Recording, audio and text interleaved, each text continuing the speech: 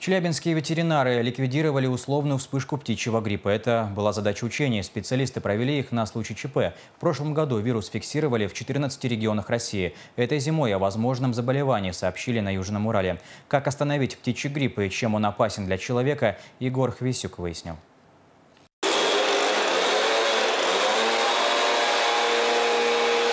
Лицо закрыто маской, поверх одежды одноразовый защитный костюм. Дополнительная мера предосторожности к высоким резиновым сапогам – бахилы. В сарае, где еще час назад ютились птицы, теперь слышно не кудахтанье, а шум мотора распылителя. Ветеринар обрабатывает помещение раствором каустической соды. Через два часа постройка станет стерильной. Идет вынужденная дезинфекция. Э, дезинфекция проводится направлена на, птичий, на вирус птичьего гриппа.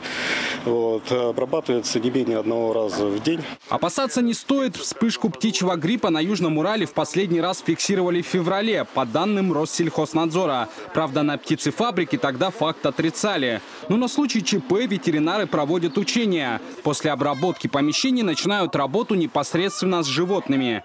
Нужно проверить, действительно ли их поразил вирус. Для этого берут кровь на анализ. Тут все как у людей. Иглу вводят в вену, только на сгибе крыла. Материал направляется в Челябинскую ветеринарную лабораторию. Э, там она исследуется и э, определяется патогенность э, штамма.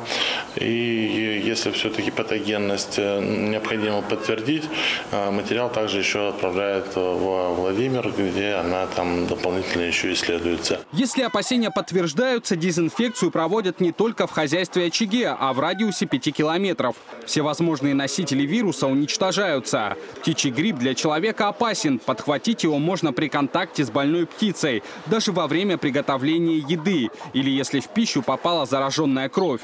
Как следствие развития острой дыхательной недостаточности, возможен летальный исход. Учения ветеринаров на этом не заканчиваются. В конце июля бригада проведет тренировку по борьбе с африканской чумой свиней. Егор Хвисюк, Андрей Федотов, ОТВ.